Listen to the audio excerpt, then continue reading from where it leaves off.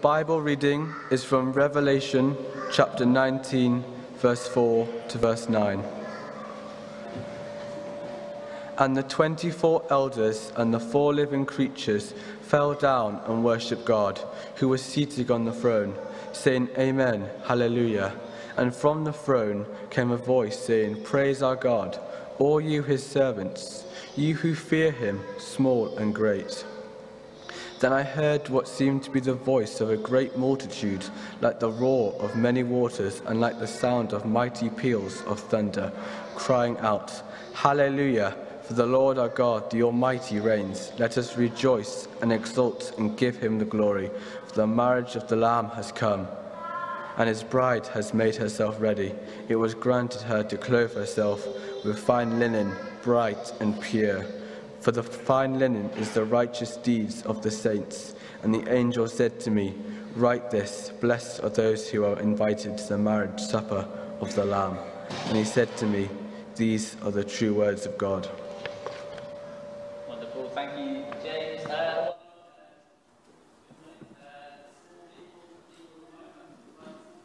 Start making your way uh, down uh, to the front there. Uh, those of us who are in the pews, keep that passage open. Lovely, that's it. Squidge in if you're first here, make some space. Lovely. Well, as they finish filtering on in, uh, let me pray for us. Heavenly Father, thank you for your word. Thank you that you speak to us through it. Give us uh, good ears to hear what you have to say to us. Help us to uh, change uh, through your word. Give us the power to do that. Excite us by your new creation. In Jesus' name, Amen. Amen. Well, I think we are all pretty much there. Wonderful. Um, I wonder what your favorite type of story ending is. There's loads of great stories out there, films, books, and good stories have a good ending. Maybe you love a bit of a, a happy ending. Maybe uh, Encanto, for example, you know, Mirabel rescuing the family back together, rescuing the family home. You know, and she realizes, even though she doesn't have magical powers, she is still a special person. what a happy ending. Or what about uh, film of the year, film of the decade, Top Gun, Maverick? What a feel good film with a feel good ending. The enemy is defeated, you know, rivalry set aside, and Tom Cruise flies off into the sunset with the girl of his dreams. What a happy ending. And another great ending from Top Gun, of course, is that mustaches and aviators are back in fashion, baby. Come on. Although I see that none of you guys are rocking it yet. No, okay, fair enough. Um, maybe that's just a bit too happy for you, though. Maybe you like something a bit more real, a bit more meaty, something like a, a heroic sacrifice. Tony Stark at the end of Avengers Endgame, sacrificing himself to save people from Thanos. Well, I wonder if you've ever thought, how does the real story of the Bible end? See, the Bible's made up of lots of little stories, but it is one big story that spans all time, all of human history, and it tells the story of Jesus and his people. Well, how does it end? Sometimes we think of floaty clouds, but it's more like those endings we've heard there. There is heroic sacrifice, an enemy defeated, and there is a happy ever after. Well, we're going to focus in on, on one aspect of that today, uh, looking at the book of Revelation. Revelation's at the end of the Bible, but it's, and it, it's giving us a little keyhole, a little window in into what the end of the Bible story will be. And so let's uh, read that again uh, now. There. It says, Then I heard what sounded like a great multitude, like a roar of rushing waters, and like loud peals of thunder, shouting, Hallelujah! For our Lord God Almighty reigns. Let us rejoice and be glad and give him glory. For the wedding of the Lamb has come, and the bride has made herself ready. Fine linen, bright and clean, was given her to wear. Fine linen stands for the righteous acts of the saints. So, did you see that? Verse 7 the wedding of the Lamb has come. The end of the Bible story, the end of human history is all gearing up to one big, awesome, final, forever wedding. Wow! But a wedding for who? See, a wedding needs uh, someone to be the groom, someone to be the husband, doesn't it? And it needs someone to be the bride, the wife. So who's the groom? Well, look again at verse 7. The wedding of the Lamb has come. The wedding of the, sorry, what? The wedding of the Lamb. Did I read that right? You mean like a lamb, as in like a baby sheep, as in like one of these things here? No, that, that, that can't be right, can it? Does sheep get married? Uh, I mean, like, that doesn't make sense. Oh. See, no, the lamb, the lamb with the capital L in Revelation and the rest of the Bible is talking about a person, someone who is willing to let themselves be sacrificed in order to rescue people from sin. The lamb with a capital L was someone who let themselves be sacrificed in order to rescue people from sin. That's right, it's Jesus. Jesus is the groom at the final forever wedding. Oh, we can't actually see the lamb anymore. That's fine, let's put him. That's not going to stay up now. Oh, wonderful.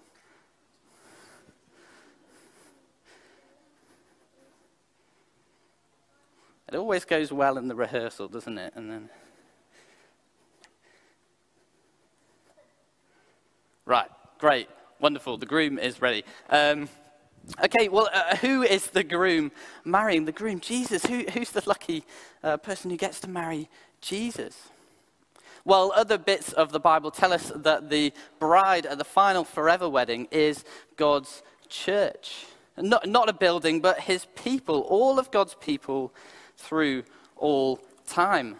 And so that, that, that includes me, that includes you, includes Abraham, Moses, Peter, Mary, Tamar, all of God's people from all time marrying Jesus, the Lamb. See, God gave us marriage way back at the start of the Bible, Genesis 2, before sin was in the world. Marriage is good. But He also gave us marriage to point us forward to this big, awesome, final, forever wedding. And so, in that sense, marriage now is a bit like those film trailers that you watch before in the cinema that make you go, wow! Oh, wow, Dad, can we please, please go see that when it comes out? I can't wait to see that. Or it's a bit like uh, those restaurants that hand out those little sample tasters as you go back. A little spoonful of ice cream that makes you go, Mum, Mum, Mum, please, can I get three of the biggest scoops of that? You just want the real thing. See, marriage now is a little sample taster of the banquet feast that is to come. And so Maris now points us forward to that. So we're going to uh, think about that a little bit more. And for that, I'm going to need two helpers, a boy and a girl. Maybe you can see where this is going. Yeah, you seemed to be up first. We're going to need a boy. Come on, don't let me down, lads.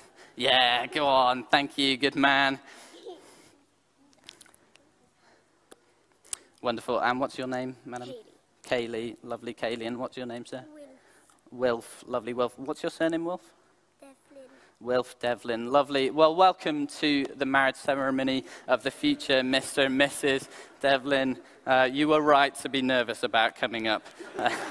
um, lovely. Well, how, how does, uh, don't worry, I can't actually marry. How does marriage now point us forward to the marriage that is to come. Well, first one, I, I, don't need props for this. There is difference. There is difference between men and women. Good difference. And there is even better difference at the big, awesome, final, forever wedding. Difference between God and humanity. Between creator and created. A difference between heaven and earth. Well, second way that marriage points us forward, it's your, marriage, it's your wedding day, guys. We need to get you dressed up and ready, looking great. I can't believe you've come so unprepared for your wedding. Oh. Lovely, there we go. Okay, and, and for the bride, of course, a dazzling white dress. Let's see if you can get that on. Is that the right way? That's. Go on, through you go. Help me out here. Let's find you again. Lovely. A dazzling white dress. Yeah, let's sort that out. There we go. Lovely. Looking great on our wedding day. We want to look good on our wedding day. That Maybe these guys don't, but we present ourselves as best we can on our wedding day. But as good as we might look on the outside, we all know that on the inside, we aren't clean. We aren't spotless. No one is righteous, not even one. But look at how we will be dressed on that final wedding day. Fine linen, bright and clean, was given her to wear. Fine linen stands for the righteous acts of the saints. On that final wedding day, because Jesus the Lamb has died, has paid for our sins, we will be spotless and clean. God's people will walk down the aisle in dazzling white, bright and clean, pure and spotless. Okay, what else do we need at the wedding? Well, there are vows and there's the giving of rings. I heard the bigger the better, and I wasn't really sure which finger it goes on, so there you go. Um, I'll hold on to this one for now. What, uh, where do rings end? No, that's right. they don't end, do they? Rings are never ending. You can have that there, lovely. and we give rings at weddings as a sign of unending love and faithfulness. But even at the best wedding now, uh, that would end. All weddings now will end because we all die. We even say that in the wedding vows until death do us part. But at the final forever wedding, there will be no death. This love, this faithfulness will be eternal, forever, never ending. God has loved you since before time began, and He will continue to love you forever. Okay, next thing to think about, and because of all that, surely it is right to have a big old celebration. Okay, you can just have that. Balance that on the top then, wonderful. Let me join in as well. Uh, weddings are big celebrations now, aren't they? Uh, in some cultures, the celebrations go on for more than a week. Thank you. I'll hold on that. Um, it's right to celebrate weddings. Weddings are good. The joining together of a man and woman, of two families together. And so it's right we celebrate. Well, the, the big, awesome, final forever wedding there will be the biggest of celebrations, and rightly so, because God and humanity will be joined together. It's like the Garden of Eden again, but even better. And we see a glimpse of that, didn't we, in the reading earlier? Like a, a roar of rushing waters, like loud peals of thunder. That's the people celebrating, worshipping. It will be a great celebration. Let's look forward to it. Okay, thank you guys uh, for that. Um, yeah, give them a round of applause.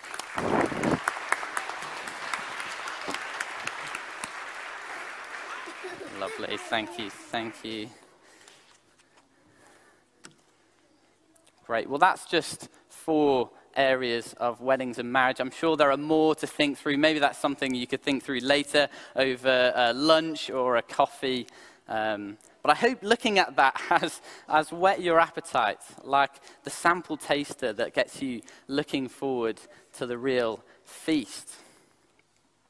But maybe I, I recognize for some of us that marriage can be a hard and a painful topic. And to perhaps continue that analogy, uh, instead of your sample being a sweet taster, maybe yours has stung. It's left a, a bitter taste in the mouth. Or perhaps uh, you feel you've been watching on as others have been offered samples, but one's never come your way. Well, if that's you, may, maybe that's drawn you away, uh, made you not excited by this imagery of marriage to come. But can I uh, gently encourage us then that all uh, of us, no matter what our experience or, or lack of experience is now, all of us can look forward to this big, awesome, final forever wedding. This is a marriage that is without pain, without bitterness. Everyone is invited. Not one of God's people will miss out. Instead, this marriage is full of gracious, loyal love. Jesus, the Lamb, will be married to God's people forever. And let's look forward to that day. Let me pray. Heavenly Father, thank you for Jesus. Thank you for uh, this picture that we get of the new creation. Uh, help. Uh, would you help us to look forward to it? Help us to live in light of it. And we pray all this in Jesus' name. Amen. Amen. Thank you guys for listening so well. You can go back to your seats now. Lovely.